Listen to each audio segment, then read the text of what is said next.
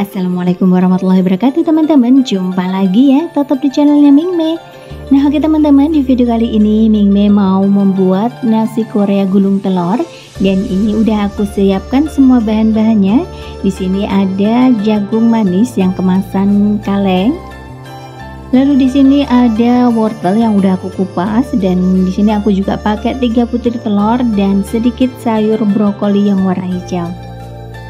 Nah sebelum kita memulai membuatnya sekarang kita persiapkan dulu semua bahan-bahannya. Sekarang kita buka dulu kemasan jagung manisnya. Dan karena ini dalamnya ada air sekarang kita saring dulu airnya kita buang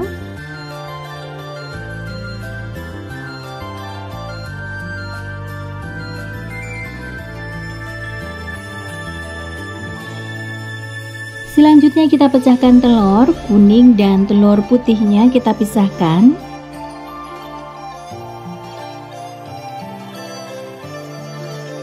Setelah telur selesai dipisahkan, di sini yang saya gunakan hanya kuning telurnya aja, jadi putih telurnya tidak saya pakai. Dan sekarang kita kocok. Setelah selesai kita sisihkan, kita lanjut lagi memotong bahan lainnya. Kita potong dulu wortel.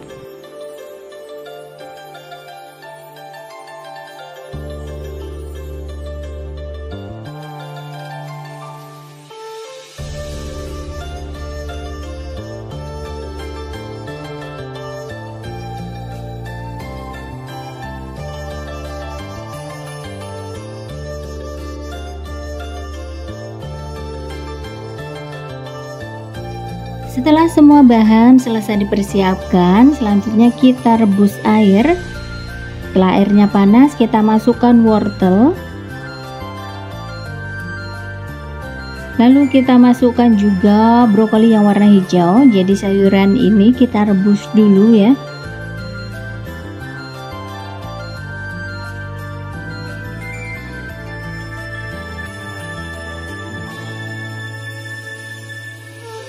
Dan setelah matang kita angkat dan kita dinginkan dulu ini brokoli warna hijaunya. Dan ini udah dingin, sekarang aku mau potong-potong. Di sini brokoli warna hijaunya aku hanya pakai bagian ujungnya aja.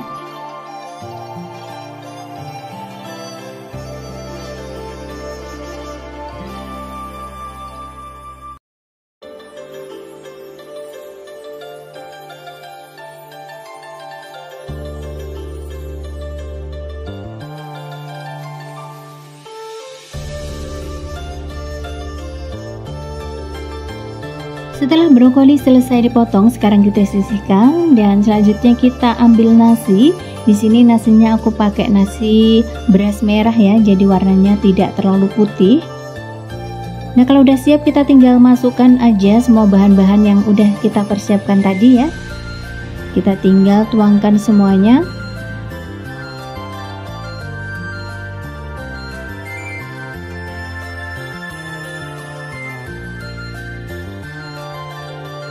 Setelah semuanya masuk kita tinggal campur-campur aja nasi beserta sayur mayurnya.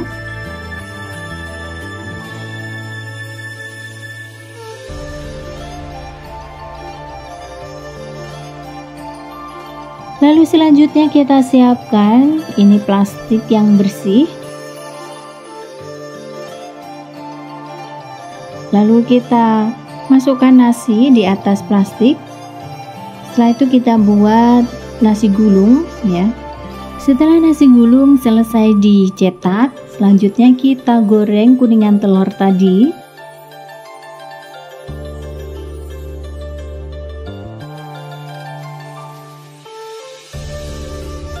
Nah ini yang lubang kita tuangkan sedikit kuningan telur lagi ya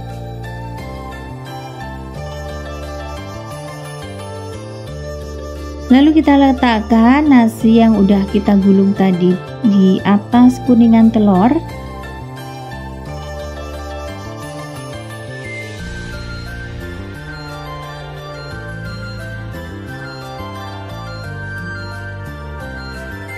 Lalu kita gulung nasi ini dengan kuningan telur.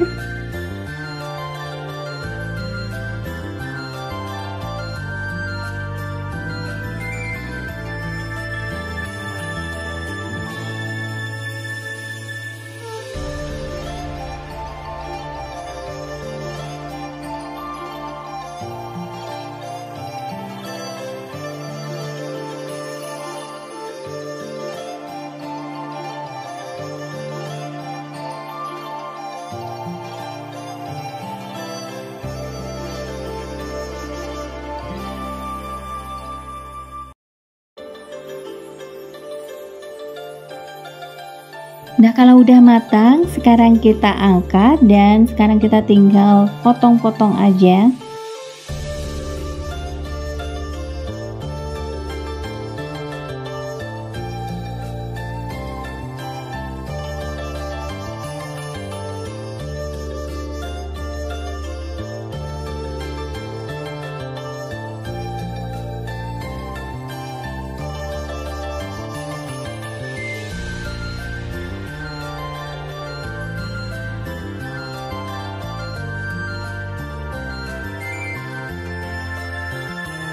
setelah selesai dipotong seperti inilah hasil akhirnya dan ini rasanya gurih banget. Bagi teman-teman yang suka silahkan dicoba ya. Dan jangan lupa tetap bantu support Mimi dengan cara subscribe, like, dan komen. Terima kasih. Wassalamualaikum warahmatullahi wabarakatuh. Bye bye